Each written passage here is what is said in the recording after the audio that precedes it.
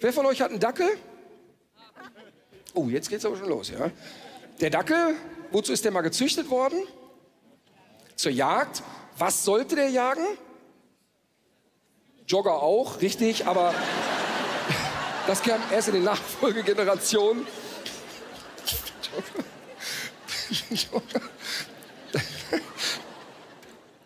Dachs und Fuchs. Das heißt, der Dackel hat im genetischen Programm tief verankert, wenn du durch den Wald gehst und du siehst ein tiefes Loch im Boden, können sich alle sicher sein, hier wird gleich eine Bude frei. Ja? Da hat er dich im Kopf, oh, da ist ein Loch. Nicht, dass da einer stürzt, da sperre ich mal mit Flatterband ab. Nicht, dass da was los ist. Da siehst du einen Dackel, hochkonzentriert vor so einem Loch, Lederjacke aus, ganz genüsslich krempelt er sich die Ärmel hoch und dann rennt der da rein, schreit einmal laut, Überfallkommando, packt den Typ an Arsch und Kragen, wirft den raus. Der fängt nicht an zu diskutieren und sagt, hören Sie mal, können ich hier einziehen?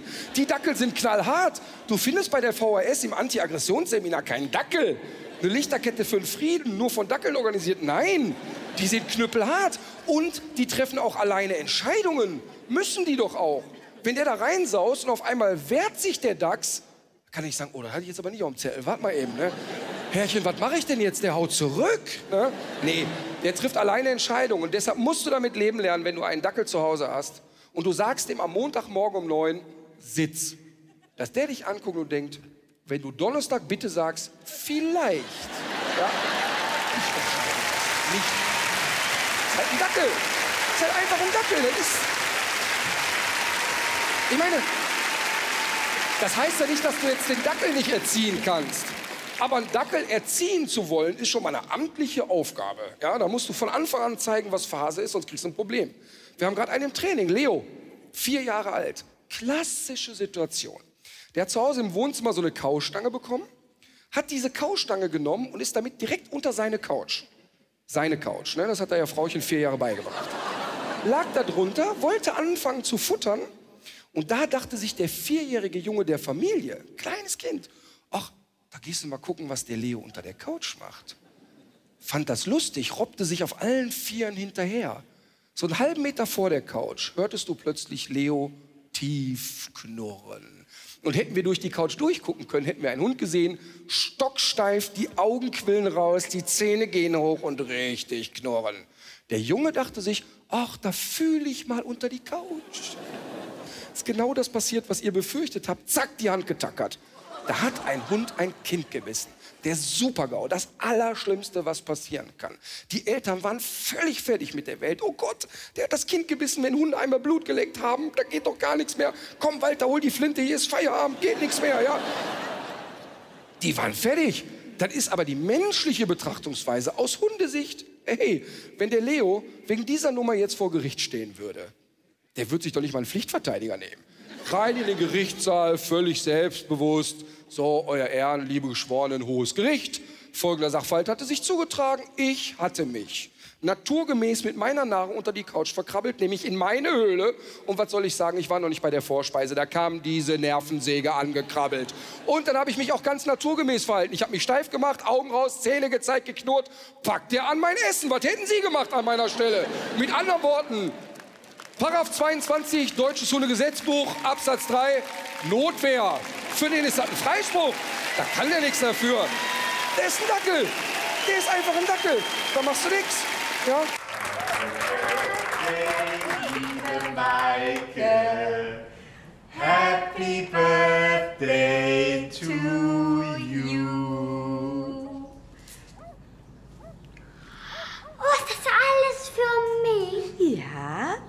Das wollen wir gleich überprüfen. Soll der Papa mal nachgucken?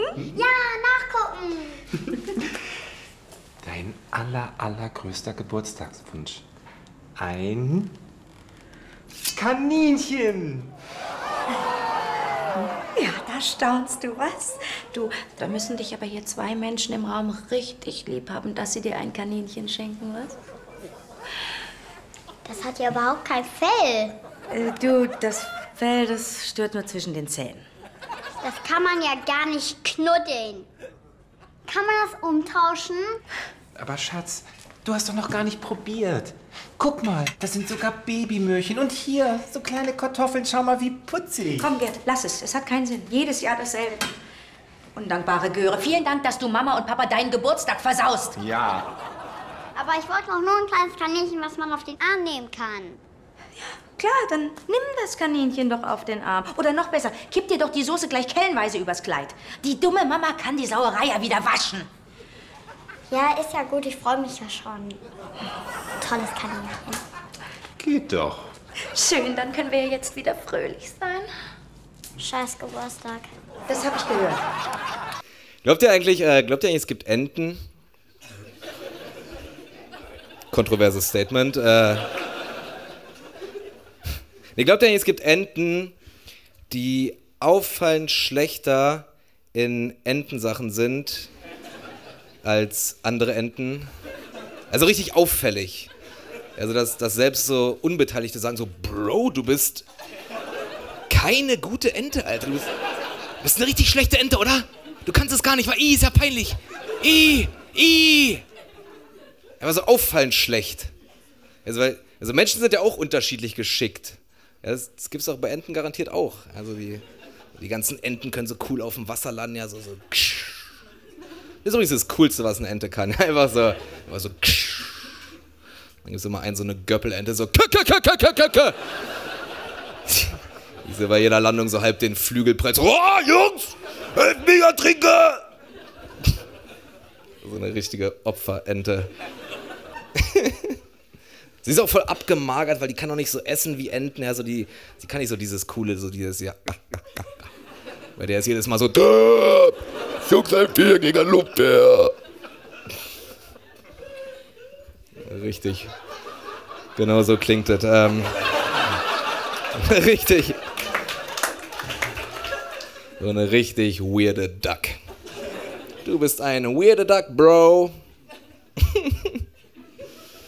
Weiß auch nicht, worauf ich damit hinaus wollte, aber ich dachte, ich muss es ansprechen. Das ist hier offensichtlich der Elephant in the Room. Das mit den Enten, das kann er nicht totschweigen. Also, das muss er ansprechen, das muss er ansprechen, klar. Ich habe letzte Woche, ich Woche mein BAföG auf einen Schlag zurückbezahlt. Oh, kommt kein Witz mehr, ich wollte nur, dass ihr wisst, dass ich mir das leisten kann. Ähm ich, bin, ähm, ich bin vorhin hierher geflogen, von, von Berlin nach Köln, einfach weil mir Umweltschutz nur so lange am Herzen liegt, wie ich nichts an meinem Verhalten ändern muss. Äh ich bin hierher geflogen so, und, und ich hasse Fliegen. Ja. Ich, der Flug war auch richtig unangenehm, so wegen, wegen diesem scheiß Sturm, es war so voll turbulent. Also, der Flug hat sich angefühlt wie eine Landung von der Opferente. Ja, also, also, also unangenehm. Aber ich hasse Fliegen sowieso, ich mag das nicht, man muss sich so übertrieben viel vorbereiten. Ja, man muss auch voll viel achten, so was man einpackt. Es gibt ja beim Fliegen so immer so krasse Sicherheitsbestimmungen. Irgendwie darf es nicht mehr als 100 Milliliter Flüssigkeit mitnehmen. Und ähm, und ich verstehe das immer nicht, weil beim Fliegen wird so krass drauf geachtet, was man mitnimmt, gibt so krasse Sicherheitsbestimmungen und in allen anderen Verkehrsmitteln ist es egal. Es ist völlig egal, was du in einem Zug mitnimmst. Also in einem Zug, wo viel mehr, so, du kannst mitnehmen, was du willst. Entschuldigung, was haben Sie da? Schön, dass Sie fragen, Sir. Das ist mein Benzinfass. einfach, einfach mein Benzinfass und ich auf Reisen. So denn, gute Fahrt, Sir. Nobody cares. Ist erlaubt.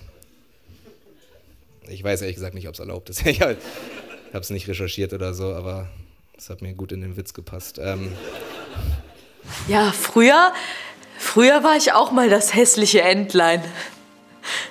Aber jetzt bin ich ein Schwan.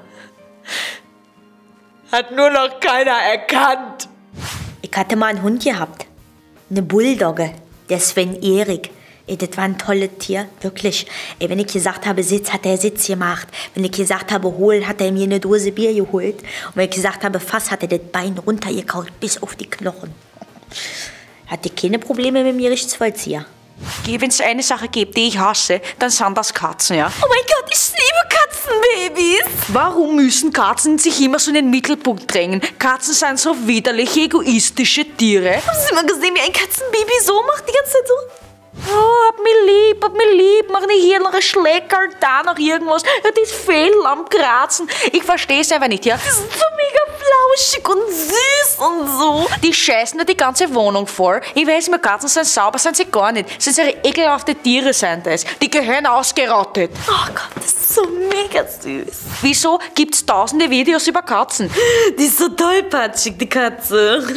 Wie sie hinfällt. Diese Drecksviecher, was glauben die eigentlich, wer sie sind, diese egoistischen Schweine? Das sind die schlimmsten Tiere, die wir im ganzen Leben gesehen haben. Oh, oh nein. Jetzt streichelt sie sie voll am Bauch. Katzen sind, die sind der Endgegner. Boah, so als Pinguin werdet schon geil. Da kommen sie ja in jeden Club rein. Die tragen ja Anzug. Sind immer mega schnieke. Hier in Deutschland, ihr behandelt Tiere ganz anders. Sage zu Huhn, mach Sitz, Huhn macht Sitz. Sage Huhn, mach Platz, Huhn macht Platz. In Pamplona, das funktioniert nicht. Sagst du zum Stier, mach Sitz, Stier macht dich tot. So ist auch mein Cousin Pablo gestorben. Ich habe meinen Ex-Freund mal gefragt, wenn ich ein Tier wäre, welches Tier wäre ich dann? Hat der Matthias gesagt, ein Elefant. Ja, ich meine, Elefanten haben super schöne, lange Wimpern. Und die sind sehr behutsam. Und die vergessen nie. Nie. Elefanten vergessen nichts? Ja gut, aber ich meine, was nützt es denen? Also sie können bestimmt keine Biografie schreiben. Und Memory spielen sie auch echt eher sehr selten. Also, ein sehr nutzloses Talent. Ich vergesse dich auch nie, Matthias. In meinem früheren Leben war ich schon mal hier. Da war ich einst ein Tier. Und dies Tier steckt auch in dir. Oh, ich sehe gerade, es ist kurz nach vier. Stunde aus, jetzt ein Bier. Und das lasse ich hier. Ja. Beruhigt euch. Mein Name ist Costa Mironianakis, ich bin Grieche, es tut mir leid. Früher war es geil, ne? da habe ich auch schöne Sachen gehört von Frauen, die haben immer gesagt, oh Costa, du bist Grieche.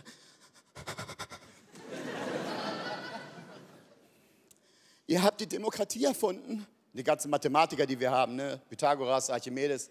Jetzt wisst ihr, wie wir Griechen wirklich rechnen können. Ich laufe durch die Stadt und Bettler machen so zu mir. Bruder, nimm. Ja, ist mir egal. Ich lebe in Frankfurt, da gibt es gar keine Krisen. Ich, habe, ich bin da hingezogen aus einer Kleinstadt, weil ich dachte, ich lerne da Deutsch. In Frankfurt spricht gar keiner Deutsch, Alter. Es ist so multikulti und auch die Hessen mit diesem hessischen Akzent. Die Frankfurter sagen als für die ganze Zeit. Als heißt immer. Kennt ihr das? Die sagen da einfach, ich fahre als grad aus. Ich fahre als grad aus, ich habe hier als gesessen. Ich habe als hier gesessen. So reden die. Ich habe mich mit einem Mädchen verabredet, ich kam eine Minute zu spät und sie so, ich habe hier als auf dich gewartet. Ich so, ja, als was?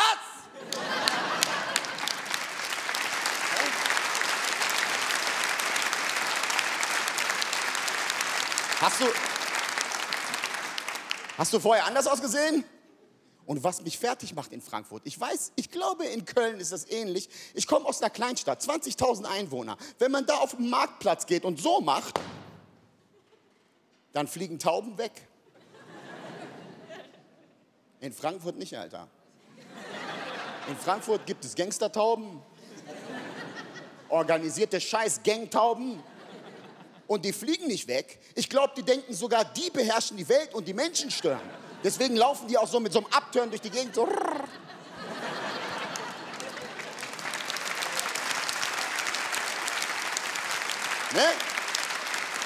Ey, die erschrecken sich dauernd, es passiert nichts, aber. Und die sind so räudig. Ich habe ein Sandwich gegessen, ich habe so einen kleinen Krümel hingeschmissen und der hat's weggekickt. Jedenfalls, da kannst du tausendmal in Frankfurt stampfen, die fliegen nicht weg. Die rennen auch nicht weg. Die gehen. Mit so einem kleinen Schock so. Die machen mittlerweile so Psycho-Scheiß mit dir. Die laufen auf dich zu und warten, dass du ausweichst. Da fehlt nur noch der Zahnstocher. Kennt ihr das, wenn die... Beruhigt euch. Kennt ihr das, wenn die auf der Fahrbahn gehen? Auf der Autobahn gehen die sogar. Und du fährst drauf zu und du denkst so, jetzt gebe ich ein bisschen mehr Gas. Dann hört die das, dann fliegt sie bestimmt weg. Irgendwann bist du fast drüber, du denkst, oh, die arme Taube ist tot. Im letzten Moment so. Dann guckt sie dich mit einem größeren Abturn an, so. Als würde sie denken, wegen dir bin ich gerade echt geflogen, Alter. Ich bin seit zwei Wochen nicht geflogen, Motherfucker.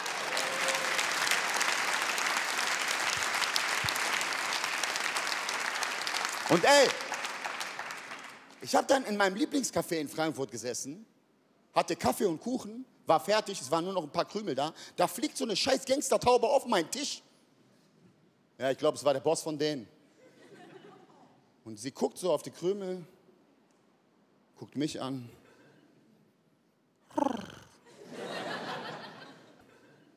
Und ich sehe in ihrem Gesicht, wie sie mir sagen will, so, ähm, Bruder,